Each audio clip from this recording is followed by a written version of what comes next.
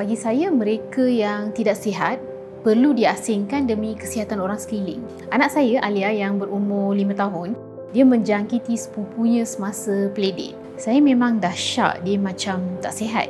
Tapi saya tak maulah terlepas aktiviti menyeronokkan yang kami dah plan berbulan-bulan. Bila dah jadi, baru ada kesedaran yang saya sepatutnya asingkan Alia sebaik saja ada simptom macam bintik-bintik merah dekat badan. Anak saudara saya terjangkit daripada Alia, hanya ada beberapa bintik je yang timbul. Mungkin sebab dia dah divaksin. Saya sepatutnya tanya doktor tentang vaksinasi.